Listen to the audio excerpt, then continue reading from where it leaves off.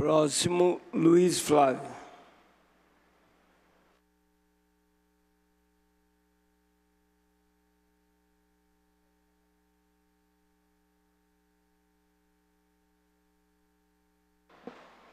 Quero cumprimentar a todos que nos acompanham pela TV Câmara, cumprimentar o ex-vereador Dario, que se encontra aqui assistindo, presenciando aqui a sessão de Câmara. É, e hoje eu tenho um assunto aqui para falar, que são com relação, com relação às obras que estão sendo feitas na nossa cidade. Obras que nós aprovamos um projeto aqui, que garantiu ao prefeito contraiu um empréstimo de 60 milhões de dólares. E com esses 60 milhões de dólares, a gente garantiu que ele pudesse iniciar essas obras. Esse projeto foi votado aqui na Câmara Municipal e a Prefeitura conseguiu esse empréstimo junto ao Banco de Desenvolvimento. Então, esses recursos estavam previstos para ser aplicados em uma série de obras de infraestrutura na nossa cidade inclusive a terceira ponte que foi inaugurada. E aí eu queria é, partilhar com vocês, porque muitos de vocês, munícipes, nos cobram, principalmente com relação às obras que estão lentas, estão atrasadas a sua entrega. E hoje eu selecionei aqui três obras para poder esclarecer a você que entra nas nossas redes, a você que me encontra nas ruas, perguntando o porquê da demora dessas obras e perguntando por que, que essas obras não são tocadas com mais rapidez. Então, a primeira obra, é pedir para colocar o quadro, por favor, é a terceira ponte, que foi é, já entregue pelo município. Essa obra fica situada ali nas imediações da Avenida Ademar, Ademar Pereira de Barros com a Malaquiasde. E para que a gente tenha uma ideia, essa obra para ter sido entregue, segundo a, a, placa que está instalada no local, em 5 de agosto de 2020. O início seria em 2019 e a placa lá indica que o término da obra se daria em 5 de agosto de 2020. Essa obra foi entregue agora em 2023. Em 2023. Então, portanto, quase três anos após o prazo previsto. Uma obra que estava prevista para ser entregue em 2020 foi entregue em 2023. Qual o custo inicial dessa obra? O custo inicial da obra da terceira ponte estava é, previsto em 17 milhões 738 mil reais aproximadamente.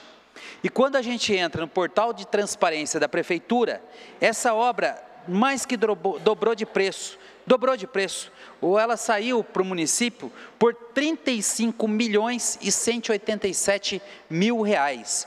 Ou seja, o dobro do prazo para entregar a obra e também o dobro do valor da obra.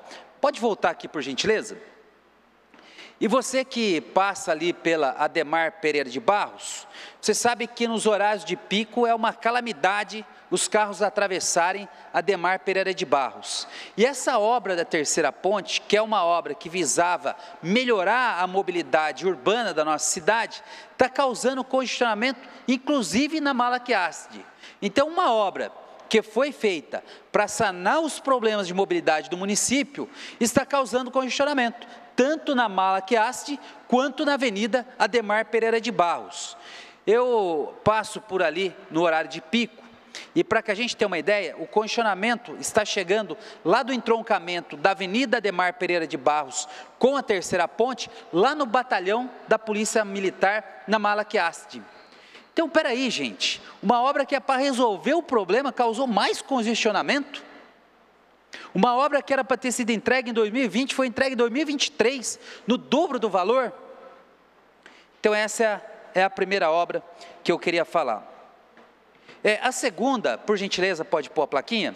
É a Avenida Humberto Alencar de Castelo Branco. Para você que não está localizando, é aquela avenida da Heineken, aquela que é avenida que passa pelo SESC Senat, que passa pela ROM, que liga a Dutra até a região aqui do Jardim Flórida, termina ali na Avenida Pensilvânia. Essa obra, segundo a placa que está instalada no local, ela devia ter sido entregue e finalizada em 10 de 12 de 2020. Nós estamos em março de 2023. Ou seja, tem um atraso aí de quase três anos. Se nós estamos em 23, a obra ter sido entregue em dezembro de 2020, nós estamos quase três anos atrasados com essa obra. E essa obra, o custo inicial dela estava previsto em 14 milhões e 627 mil reais. Essa obra hoje já pulou para 22 milhões 575 mil reais. 8 milhões de reais a mais. Volta aqui, por favor.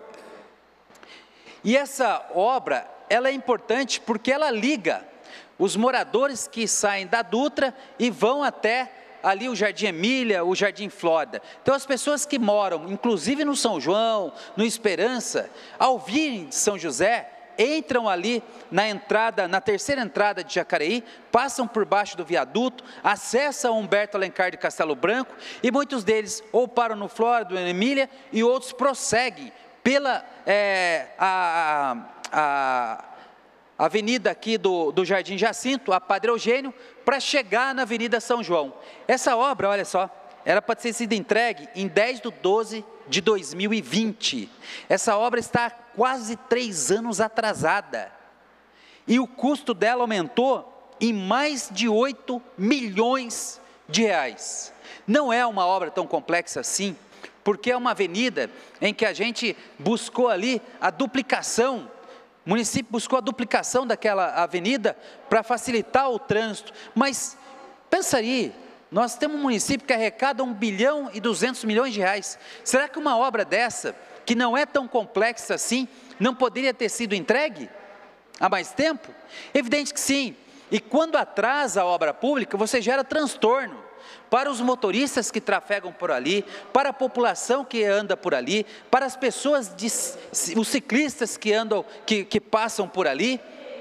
Então o prejuízo é de toda a ordem e aumentou-se nessa obra o custo de 8 milhões de reais. Só o aumento de custo da terceira ponte com a Humberto de Alencar de Castelo Branco são 25 milhões de reais a mais que a prefeitura tem gasto. Ora, e já quero dizer aqui, a justificativa é aumentou o valor do material de construção. Ora, eu não vivo alheio ao mundo. Eu tenho que reconhecer que de fato os insumos da construção civil aumentaram, mas esse aumento não foi de 100%. Quando você quer calcular a inflação da construção civil, que é o aumento da areia, da pedra, da mão de obra na construção civil, se calcula pelo INCC, que é o Índice Nacional que mede o preço na construção civil. E durante esse período não chegou a 30%. Então, admitir um aumento de 30% na obra Ótimo, porque aí você está assumindo que houve inflação nos insumos da construção civil. Mas você aí de casa, sabe por quê que aumentou muito o custo dessa obra? Dobrou por causa da demora. Porque se você fala que vai construir uma obra em dois anos e leva três, quatro, cinco anos, é três anos a mais de equipe, é três anos a mais de segurança da obra, é esse custo que impactou na obra pública. Não é somente o aumento dos materiais da construção civil, mas é a demora, é a lentidão que traz prejuízo econômico e social para o nosso município. E tem uma última obra, e essa aí não se pode jogar somente na conta da prefeitura, mas na conta do Estado também. A próxima placa, por favor. Que é a ligação do Jardim Santa Marina que sai ali perto da Sebrace e vai até a rodovia Nilo Máximo, em frente ao Sindicato Rural. Por que, que se previu essa obra? Para que ela pudesse, a Sebrace, escoar a sua produção, entrando por trás de Santa Marina, deixando de passar na região de Cidade de Salvador e desembocar perto da rodovia Carvalho Pinto, para que essa produção pudesse ser escoada de maneira mais segura, de maneira mais tranquila e reflexamente fazer com que o trânsito do Salvador melhorasse ao esses caminhões não passassem principalmente pela Avenida São Jorge. Olha, você morador de Jacareí, essa plaquinha. Pasmem, essa obra teve início em 3 de julho de 2014. Nós estamos em março de 2023, ou seja, nove anos, nove anos, repito aqui, nove anos, e essa obra ainda não foi entregue para a população de Jacareí. Esse é um convênio do Estado com a Prefeitura Municipal de Jacareí. E olha para você ver, o valor inicial do contrato é de 14 milhões 247 mil reais. Mas eu ainda não tenho o preço atual da obra, estou providenciando junto ao governo do estado para que eu possa trazer essa informação a você, munícipe.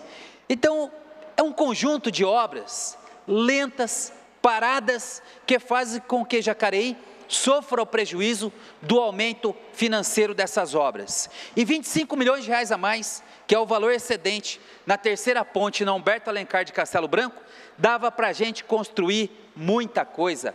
Quadras esportivas nos bairros, reduzir a fila de cirurgia no município, construir, por exemplo, a UBS do Jardim Flórida, que era para ter sido entregue lá na gestão anterior e até agora não foi entregue. Dava para a gente construir o BS, por exemplo, no Jardim Califórnia e Parque Califórnia, bairros que tiveram o aumento da população e precisam de ter uma UBS. Dava, por exemplo, para terminar a UPA do centro, que disseram que se, iria ser entregue em 2020 e até agora não foi entregue para a população de Jacareí. Eu estou colocando aqui essas questões porque é meu dever, enquanto vereador, enquanto parlamentar, trazer e esclarecer essa informação para você que me acompanha aí de casa. Eu acho que o vereador precisa, não é?